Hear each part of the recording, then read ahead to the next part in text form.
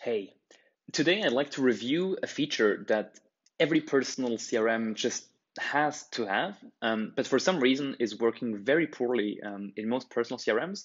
Um, and I'd like to just compare uh, a few of the, the main web uh, personal CRMs out there um, to show you um, how this feature differs. And the feature we're talking about today is sending emails. So obviously, one super important thing you want to do um, if you're trying to stay in touch and reconnect with people is well to reconnect. Um, and in our world, depending on how we communicate, but one big way uh, we communicate with people is email. So uh, what I wanted to show you today is how sending an email to someone you need to reconnect with works in different um, personal CRMs, including ours. Um, just obviously because I want to share how we thought about this, um, because I think it's really important. So let's get started we will start off with uh, Monica. So everyone knows Monica. It's one of it's I think it's the oldest personal CRM out there, um, and they have done an okay job. Um, everything is very manual, um, but so let's have a look at how reconnecting works in their app. So what you do is you set up manual reminders, which I did here, and I need to reconnect with Leo here. So what you have to do is actually click on the contact, and then you get on the contacts details page.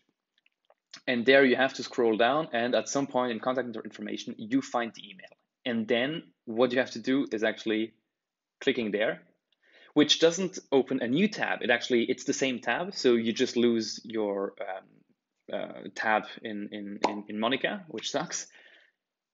Takes 10 seconds to load because that's just the way mailto works. Um, and then here you can send your email and actually uh, reach out to Leo which I think is a super bad way to do it because then you still actually have to go back to Monica and log the interaction because everything is manual, right?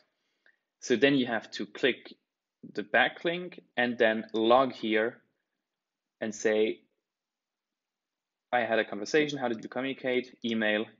And I sent the email and add. And I have to say something. Email sent. So this took a lot of time and effort, which I think is totally unnecessary. Let's have a look at UpHabit. So UpHabit has a web app now. Uh, I think it's definitely bad, uh, but they do have one. Um, and, and, I'm sorry, the UpHabit team. I think I'm just yeah, I'm just being honest there. Uh, but keep it up. So how it works here, you set up reminders as well.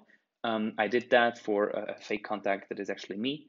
And when you go in the today tab, uh, you can see who you need to reconnect with. Here I have, I have only, only, only one contact. And then on the right, uh, you have all the profile information, nothing that helps you actually reconnect. Um, and this button there. And if you click on this, this time it opens a new um, a new tab, which is great. Uh, but you still have the same problem of you know it's loading and so on. Um, and once you've actually sent the email, uh, you still have to go here and say we connected and maybe add a note and that's it.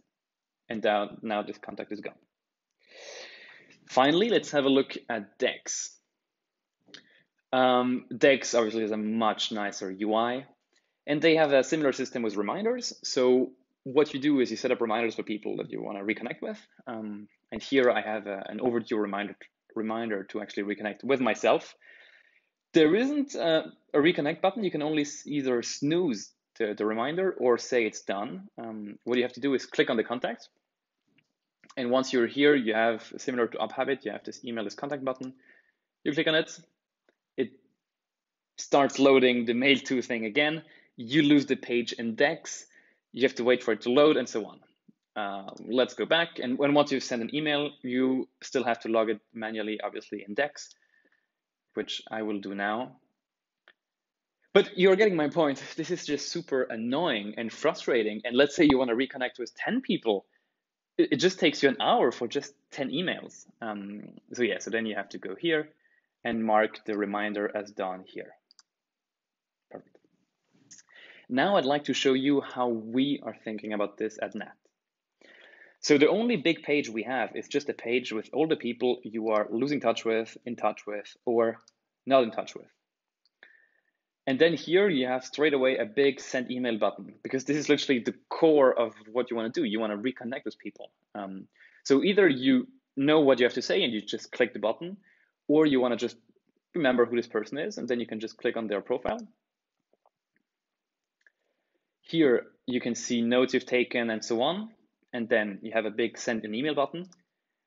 You click there, no one redirects you. You are still in the app. It's beautiful we use the last email you sent as a template. So if you're sending similar emails to a few people, uh, let's say you know you want to announce a good news. For example, in our case, we just made it to hundred dollars in monthly recurring revenue. Um, then I might just send similar emails, just change names. Um, but there is no complex templating, anything like this. Um, you, yeah, we just take the last email that you send as a template, and then you click here, and the email is sent.